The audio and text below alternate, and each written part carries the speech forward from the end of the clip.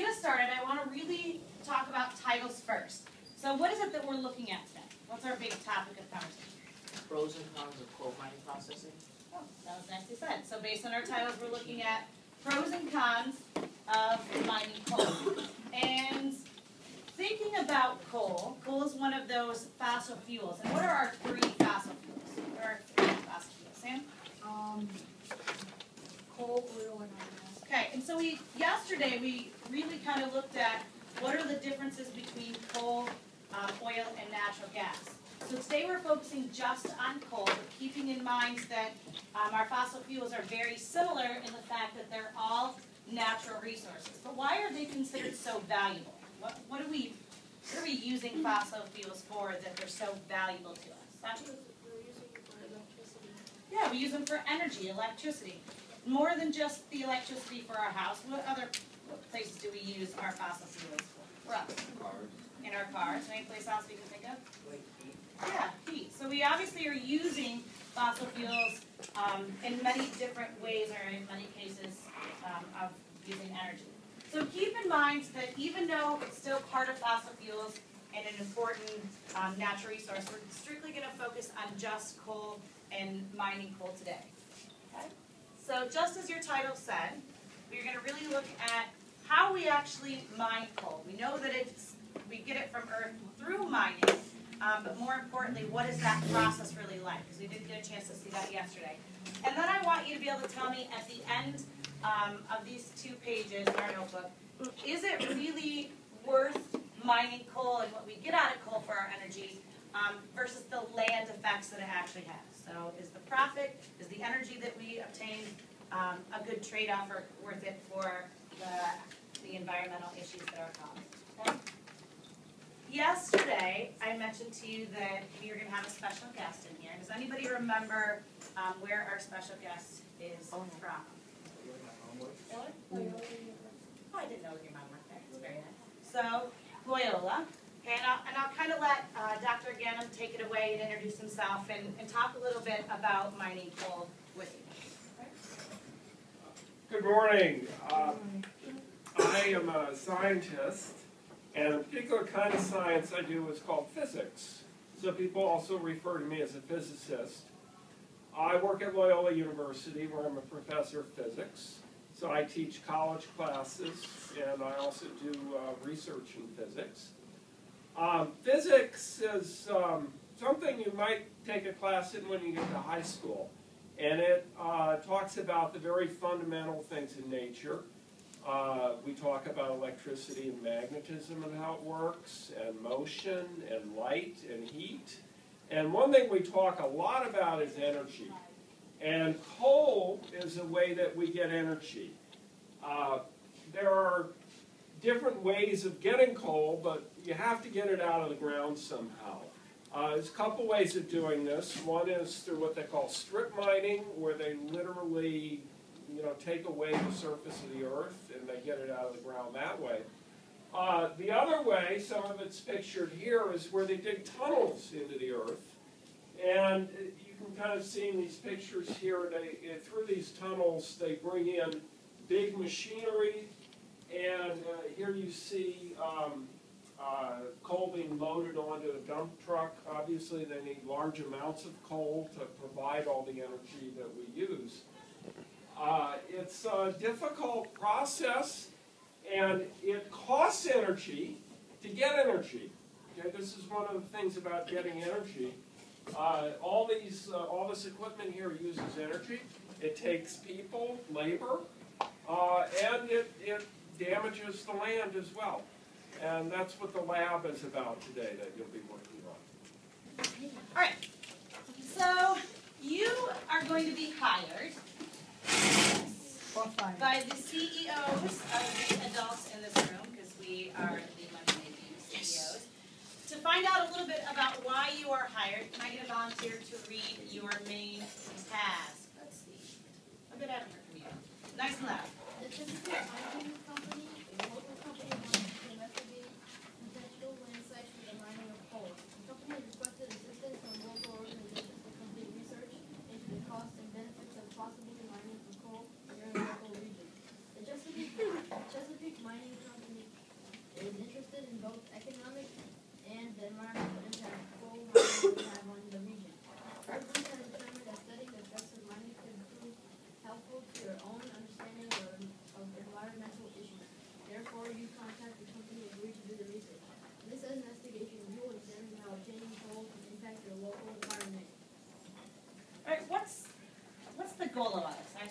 hired, but what are you actually hired to do? What did that paragraph tell you that you're gonna be doing and working at? Aziza? I want to see how obtaining coal can um, impact your environment. Good, so as we get coal from Earth, does that profit, does that money that we are actually making and the energy that we get from that coal really outweigh the environmental issues, that land damage that's, that's caused, okay? So in order to get a little bit more insight to what you're gonna be doing in lab, you can see towards the bottom half of the paper where it says modeling the effects of coal mining. I'm gonna have you read carefully on your own, but as you read the directions on your own, I need you to do two things. I want you to identify anywhere that you have to record in a chart. There are two different charts, so make sure that you are underlining where you are recording in a chart. The second thing that I want you to do is to make sure that you circle any lab equipment that you're going to be using during lab. Now, if you see that lab equipment repeat, you don't have to circle it more than once. I just want you to be able to identify the different tools that you're going to be using during lab. So on your own right now, read through, underline um, anywhere that you have to put information into a chart, and then circle anywhere that you see lab equipment that will be used. Okay, so I'll give you a minute or two to do that, and then we'll come back and talk about it. where you're gonna be recording data and stuff. If you're here, it says track one, that would be something that you kind of, uh, have sheet of paper. So where's, what's the left one you do?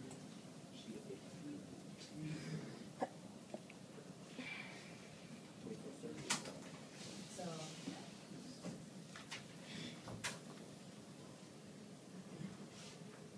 Underline chart. Circle the two. Okay?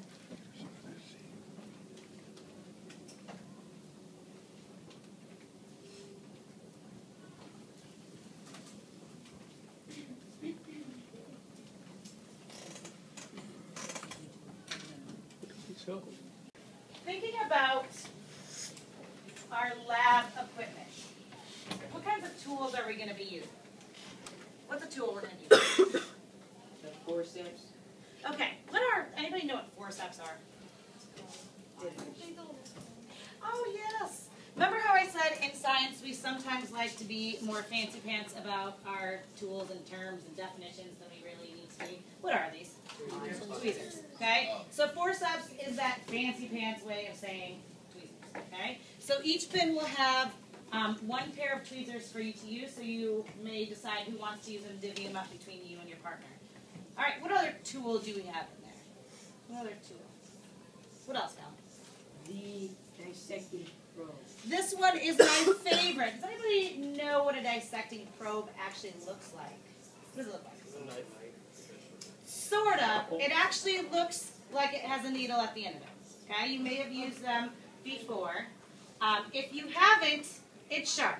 So keep in mind we are dissecting a two or something in class, but we are not dissecting each other. So even though you're tempted, Jabria, to be poking people with the dissecting probe, please refrain from doing so. Only used to dissect what? What are we dissecting? A cookie. So the only place that I should see this dissecting probe going to, touching, is going to be the actual cookie. Okay? So you've already named a third tool that we have, and that's the uh, material that you have in lab, and that's going to be your cookie. No, you may not eat the cookie. Let's think logically. It is in a lab bin and is going to be poked and prodded with a dissecting probe and forceps that have been used to dissect other things. Do you want to eat it? No, I knew somebody was going to say that. However, however, because you have a fabulous, wonderful, fabulous, wonderful, let me repeat that one more time. Fabulous and wonderful. Thank you, Ms. Clark. I did think about you, and I did get extra cookies. So if you are fabulous, wonderful, and I know, if you're fabulous, wonderful, and great in class and during lab, I will make sure that you get a cookie on your way out today. Okay? So refrain from eating the lab cookie. Okay? All right. Any other tools that are in there? What else? Oh, the phone. Yes, your phone can be used for two things. You can use it to keep track of time. Okay, if you do not have a phone to keep track of time, you may use the clock, and I think I have one extra stopwatch timer in here. But if you have a phone, you're more than welcome to take it out during that time. Not right the second, but during that time. You can also use it, flip your paper over to the other side.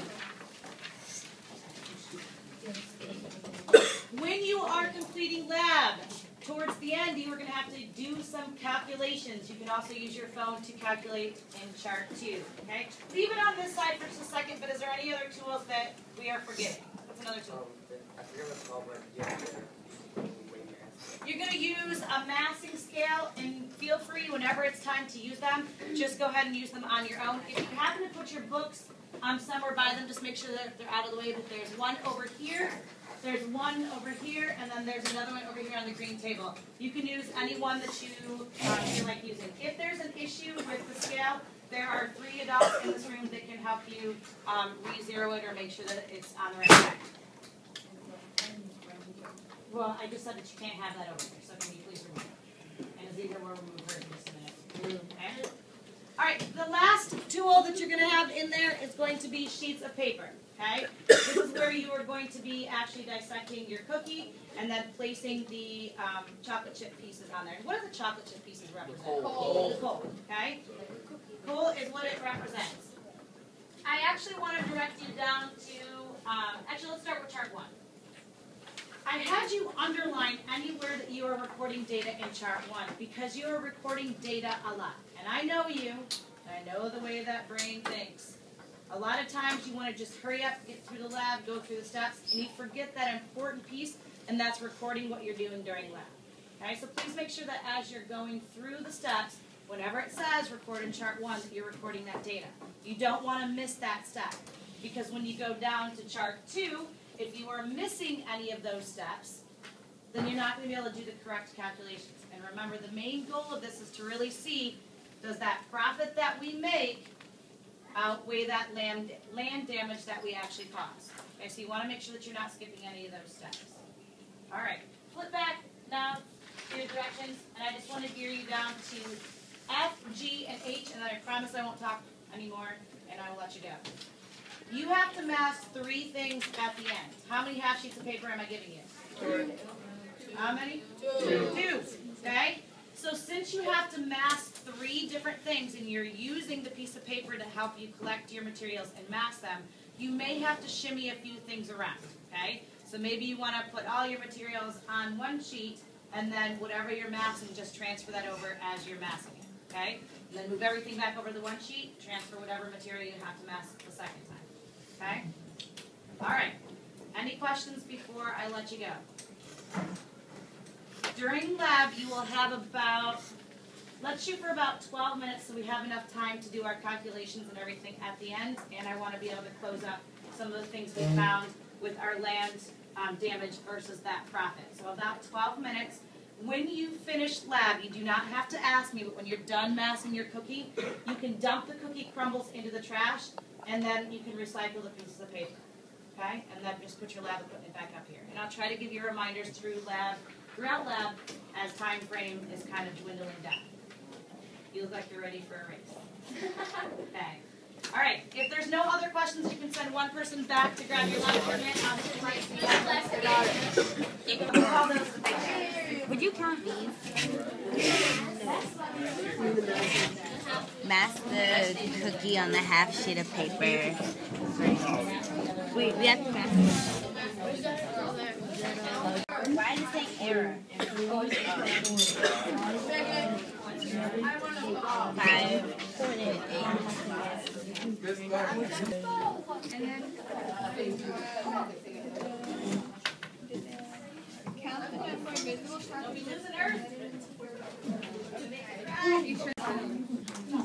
of visible traffic?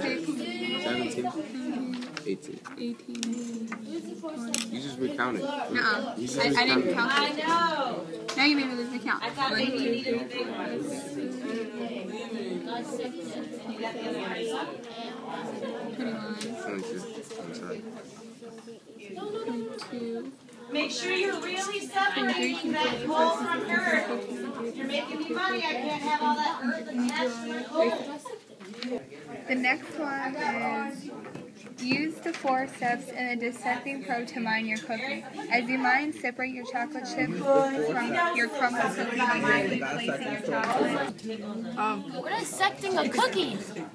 This is representing the pole, and then um, the yellow, I mean, not the, I mean the cookie. The earthy part is like representing the earth. Can also use the clock over there too. You keep yours. It takes like forever. I told you. I didn't know. I thought we were just gonna separate them. Actually, it's kind of good that you. I see people destroying my earth. Ow! My heart's breaking. Thirty-six, You're gonna cost me land damage. You were gonna owe me lots of money. Oh, and you just, some is just falling into the depths of the earth's soul. Oh my god. Hey, we didn't do that. We, Careful. we're pretty bad, but we didn't do that. Semi-whole, so I would keep that. Tweezers here. Good deal, Chloe. You might be able to like loosen that. Who's got? You have to half done. You gotta like scrape it. Yeah, we and then we try to grab it. That part takes a little longer to go I to do it. I got it. I got it. Oh dang! I just pulled it out.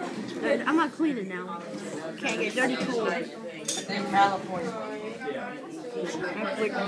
We're using we're using the forceps as like as like like like you know how that's um little like kind of like an extraction tool. So like, and now you just use this like I'm gonna have one sheet of paper. And chocolate chips. And that's going to be what you sell, the coal. And then we're gonna weigh that separately from the other sheet of paper. And that's the chocolate chips. And you'll throw those away. And you'll mass the uh, big pieces. And then you'll mass the crumbs. Yes, yes. So you want that separate. And then you'll, you'll throw that away after you mass it. Then you'll mass the remaining cookies. So wait, are the crumbles they? And then you'll mass the crumbles. Okay, so you want, you want three things. Yeah. Sweep that off. Thank you. There you go. Okay, so you want three things. The remaining cookie, the crumbles, and the cake. All right, those are. Three, two, one. I want everybody's eyes up here for just a minute. I know that we're all in different places, but I want to give you two directions. So wait. Nobody should be touching anything. I want to see no equipment in hand. All right. Because of time, I want to have a few minutes to kind of close things up. I realize that most of you will not get to your calculations today, and that's fine. But I would like to at least start to make some predictions about the differences that you saw with the groups. You know, is a group that created a lot of land damage going to make as much money as, say, a group that um, kept Earth pretty intact? Okay, so I want you to start thinking about that. How many of you still need to actually mass the second time around? Okay? I'm going to say that you have one minute. Listen very carefully before you start jumping up and doing anything. Miss, I'm um, ready for a race over here. You're going to have one minute to finish any massing that you need to do. And how did I say that we're cleaning up today? What's that process? Somebody raise their hand. So you're going to dump all of the cookie into the trash, and then you can recycle the paper. Okay, since we are talking about Mother Earth and things, I think we should make sure we recycle, the paper. Okay. So one minute to do all of those things. That's not very much time. In that minute, also, please make sure that you are putting your lab equipment back in here and back in the back. Okay. Go. Yeah, make sure you put the lab equipment back and you are finito. Oh, Jared, you gotta throw away the half sheet. You got it. You recycle it. Close up. I made twenty-two dollars. I mean, not yourself, or that's your actual price? Alright. I know that we, not everybody got to this. Not everybody got to the calculation part, and that's fine. But I'd like to make some predictions and then um, have Dr. Ganem actually close up some of the things, uh, for today. Anybody wanna share what they believe was taking place with that? If you want, you're more than welcome to kind of point out and call on people. Um, anybody wanna share what they think was taking place in? Sam? We were, we were seeing how much, how, how hard it is to get the coal away from the land and how much cost and profit you get after how much you damage to not as much damage you do to the cooking land.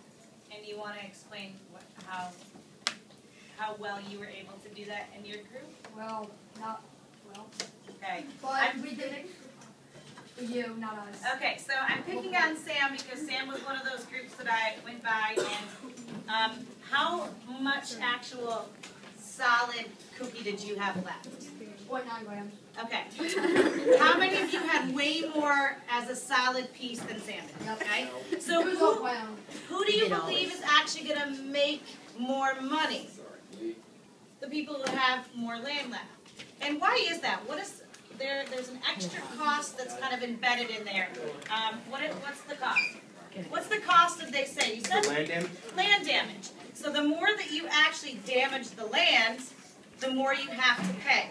Do you think that that really is out there in existence? Yes. Yeah, so if you're somebody who's gonna be mining for coal, you can't just say, I'm gonna go here and mine, and not expect that as you're damaging earth, that you aren't gonna have to pay some cost for that, okay? So I'm gonna kinda turn it over to, uh, Dr. Ganem, and I remember at the beginning you were talking about that trade-off. Yeah, the, the trade-off, uh, between the cost of doing this, so you only get paid for what you have at the end, the, the number of chips.